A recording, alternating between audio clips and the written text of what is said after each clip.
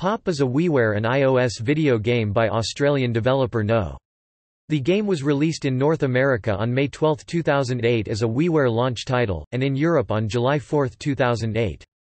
It was released by Electronic Arts in Japan on July 29, 2008.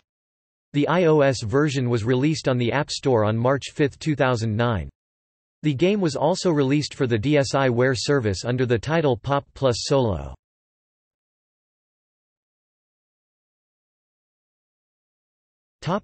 Gameplay Pop involves the player popping bubbles to score points against a time limit.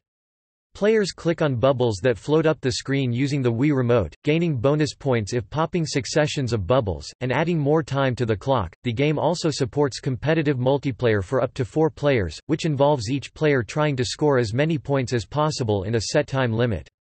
Power-ups can also be collected to hinder the other players.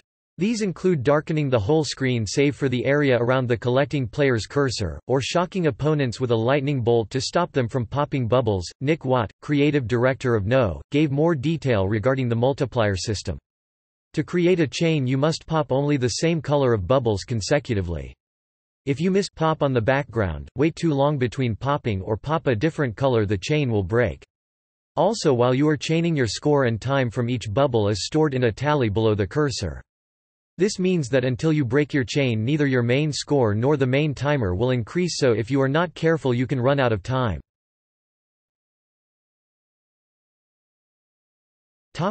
iOS version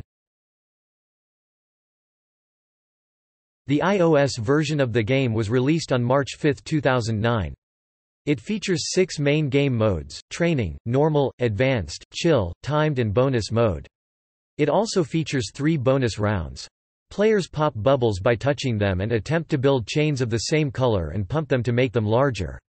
The aim of the game is to get high scores and earn all 72 medals. Topic Pop, Lite and Chill Pop, Lite and Pop, Chill are stripped-down versions of Pop for iOS. Pop, Lite version is free and includes a training mode and an extra mode of gameplay that is unique to the edition. Pop, Chill is the chill mode from the full version of Pop.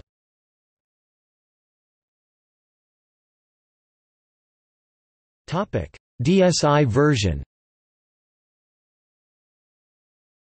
A DSi version of the game, Pop Plus Solo, has been released as a downloadable DSiWare game for the Nintendo DSi. It costs 500 Nintendo points.